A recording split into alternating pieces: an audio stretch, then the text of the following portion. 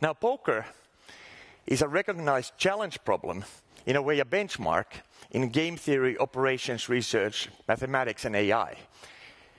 Starting, for example, in John Nash's seminal PhD dissertation in 1950, poker was the only application discussed in that.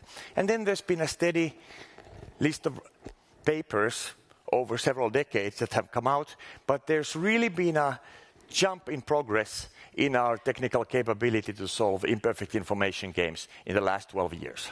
So, for example, um, in 2005, my student Andrew Gilpin and I solved Rhode Island Hold'em exactly, which is a game that has 3 billion nodes in the game tree. This was five orders of magnitude bigger than the biggest game solved before that.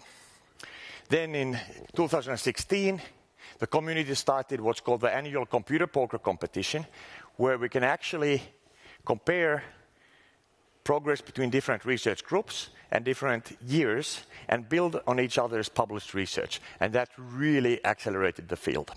And then in 2015, uh, Uh, bowling et al. solved what's called limit Texas Hold'em, where heads up, no lim- heads up limit Texas Hold'em. Wherever you bet, you bet a certain amount. This is a fairly decent sized game. It has 10 to the 13 different decision points.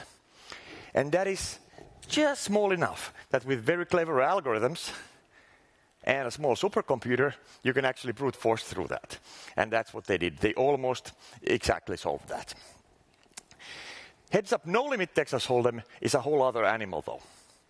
There, you can bet any amount at any point up to your whole chip stack.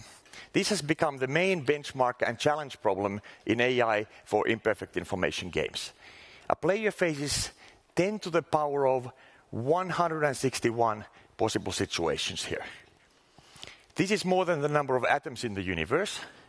And if you had even for every atom in the universe, a whole other universe, and counted those subatoms, it's even more than that.